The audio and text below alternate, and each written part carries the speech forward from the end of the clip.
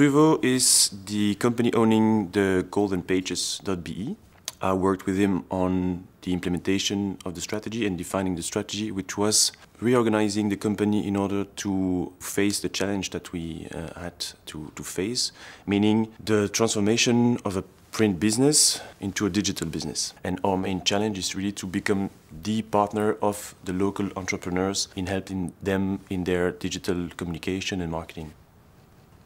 Doubt is not a question you should avoid. I think it's really part of any discussion we have with customer, with a client when we first meet them, because we faced and we are still facing with doubts about the way we have to manage our digitalization.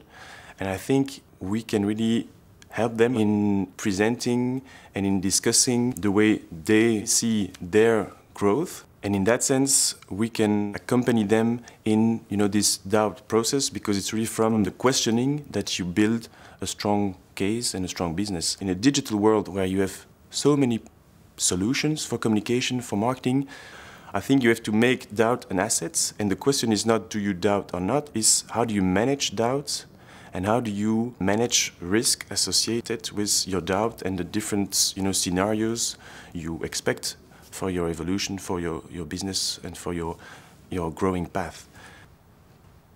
Watify is something brand new for me. So I think it's really something that will bring, you know, an added value to all entrepreneurs and to young entrepreneurs. And I think it's something I really fully support and I will try to also develop locally uh, because it's clearly what we need to do, you know, help entrepreneurs go in that direction. And we really want to also be part of that change process locally. So I am certainly an ambassador of the Watify project, sure.